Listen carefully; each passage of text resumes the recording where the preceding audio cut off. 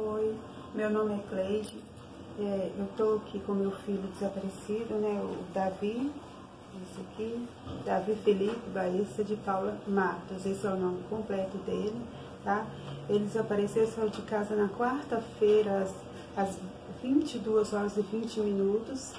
Ele saiu com a calça, calça preta, blusa branca e tênis azul.